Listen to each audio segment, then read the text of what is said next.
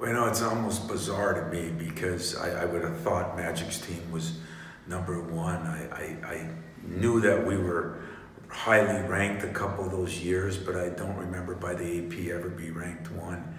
I, I guess it's just another uh, another positive thing that's happened to this program. I mean, this is a program deal, and it's the players in the program, and I'm really proud of them for that. Unfortunately, what you are at the beginning of the year doesn't help you at the end of the year, but I think it does say something about the program and what we've done over these years. And uh, happy for our seniors that, uh, happy for our whole team that they can be part of making history. Now I'd like to see if we could, you know, propel us into greatness down the road.